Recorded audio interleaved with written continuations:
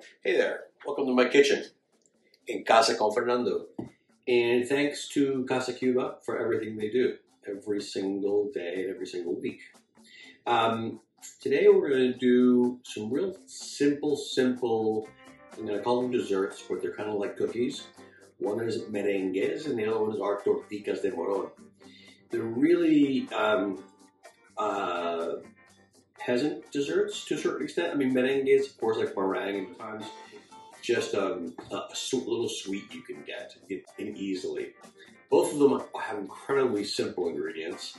Your basic like sugar, flour, and uh, but they make tasty uh, sweets that uh, I grew up with. We had a family of seven, and um, when my mom would come back from the store, by that night we would have eaten all the Pop Tarts in the house. And then my mom would only go to the store once a week. So we had to uh, figure out what we're going to do to have, you know, a sweet. And um, we would, my mom would make uh, torticas de moron and uh, merengues. Uh, so let's make them today. They're uh, super easy and sweet.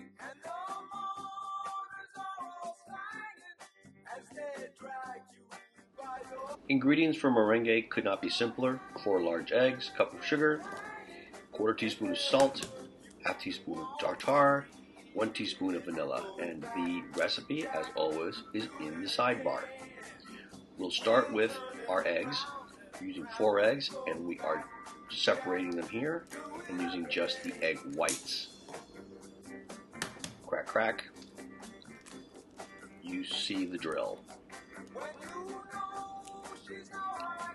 This method of separating the eggs just uses the sharpness of the eggshell as a knife. Just by slightly wiggling the egg, the white will separate quite easily.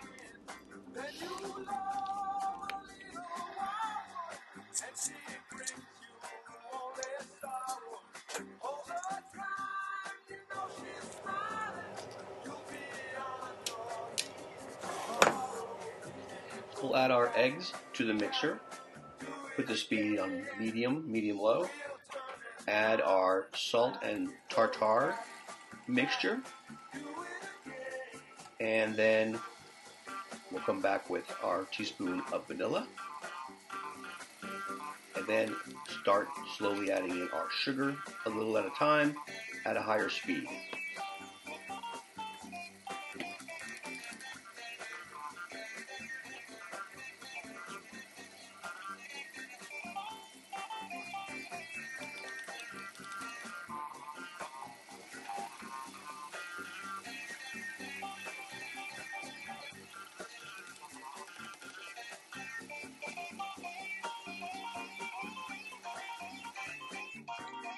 Stop the mixer, lift, and use a spatula to pull down all of that powdered sugar that's on the side of the bowl, a little house cleaning, and we're ready to keep mixing.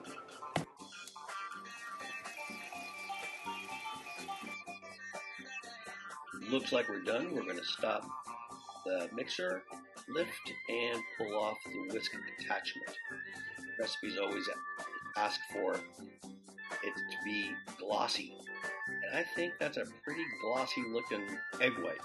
I think we're ready to make some merengues.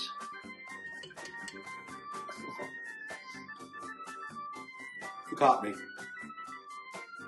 You had to.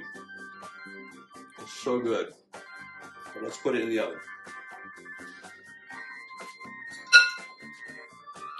Before we go to the oven, we need to separate our egg whites into separate meringues.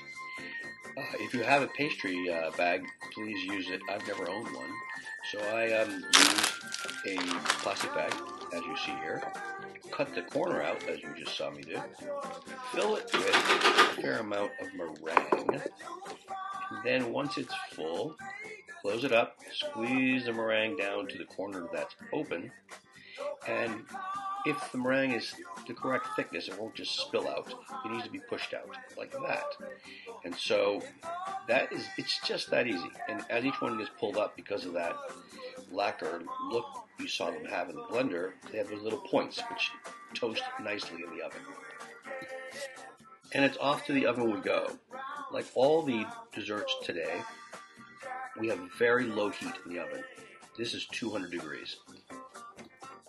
And voila, in about 20 minutes, they're ready.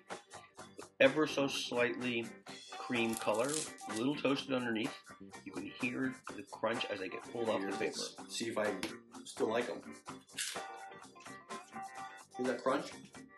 Perfect. Super tasty. And on to our next cookie, Torticas de Moron, named after the Camagüey region in central Cuba, when there isn't much in the pantry. Traditionally made with lard, we're going to make it with Crisco. Another super simple ingredient list six cups of flour, two and a half cups of confectioner's sugar, powdered sugar, two cups of aforementioned Crisco, and two teaspoons of lime zest. You see me zesting here.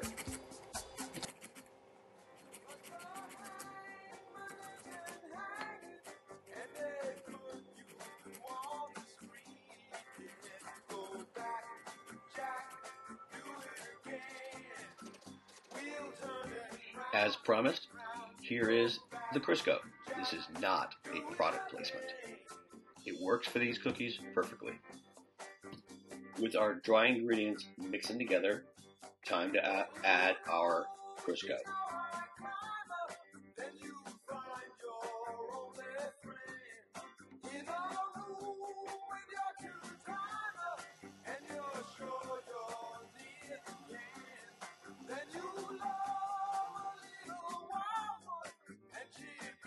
As the vegetable shortening gets incorporated into the flour, the flour creates beads that eventually create one mass, not unlike bread making.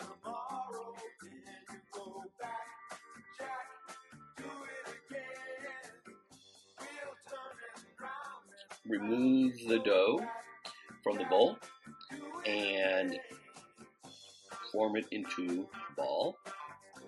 And then we're going to wrap it in plastic and refrigerate it for two to three hours, and overnight works just as well. Make the ball, wrap it up in plastic, and put her to bed. Well, good morning, sunshine. She's out of the fridge. We unwrap the plastic, and we're going to start making our torticas, or little cookies. Two spoons are the tools you need. Uh, and this is actually a little tricky. Um, and these are called traditionally by the French cooks quenelles, and they're essentially little footballs. And you just press and pass the dough from one spoon to the other, as you see here, and then they create these little wonderful, look like almost little sand crabs. Um, and then we just do it again. If we don't make a big mess, which I tend to do. And there we go. There's number two. And we go from there.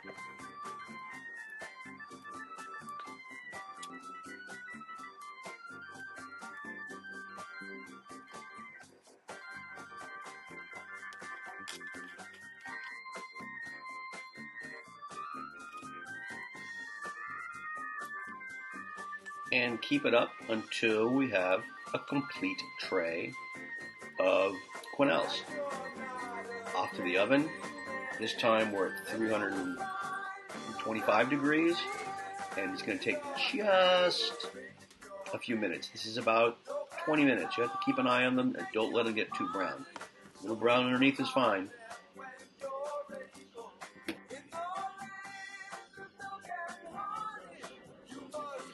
So here are our torticas de moron. And when they're ready, you have to keep checking them.